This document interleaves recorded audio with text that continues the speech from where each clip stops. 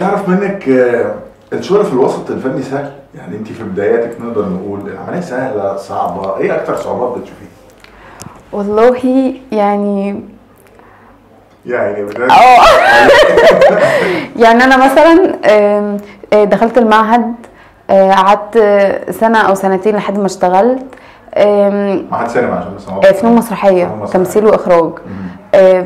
فهو يعني هو مش هو صعب على مش صعب هو محتاج طاقة ومحتاج صبر وإن إحنا ما نكتئبش وإن إحنا يعني أنا مثلا مضيت كنت مضيت قبل ما أسافر السعودية مع أستاذ خالد مرعي ودور يعني بطولة وبعد كده سافرت جالي السفر ف وأنا هناك ففجأة بدأوا تصوير فالحاجة راح فهي في حاجات بقى بتحصل كده فبقعد أكتئب وأعيط تاني فنرجع بقى لنفس كده يعني.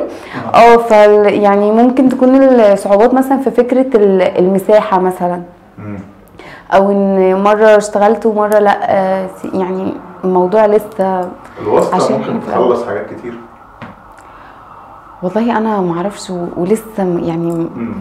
ما عمري آه يعني أنا محتاج لسه. يعني أنا كل اللي بعمله اللي هو يعني مثلا أعمل عرض في المعهد. يعني يعني أنا بالنسبة لي يبقى المعهد هو الحاجة الوحيدة اللي بتقدمنا مثلا بشكل كويس. آه، أعمل عرض فأعزم منه المخرجين المنتجين فيشوفونا بشكل كويس. هي ده هو ده دي الحاجة اللي قدامي. هي دي ال- دي الواسطة اللي بالنسبة لي. النجاح اللي حصل بنفس الطريقة اللي بتتكلمي فيها دي كانت رحمة؟ أحمد ما اللي خدت دور مربوحه مع مكي آه في ديجافو الناس شا- مكي شافها مع أحمد الجندي ضربت معاها آه. رأيك مبدئيا في رحمه أحمد وكنت تتمني تعملي الدور ده مثلا؟ آه، هي قمر آه، طبعا ودمها خفيف وجميلة وكل حاجة. و يعني ما أعرفش ما أقدرش أقول أنا يعني أنا ما أقدرش أحدد نفسي أصلا ما أقدرش أقول آه أعمل ما لا ما اتفرجت. عليها؟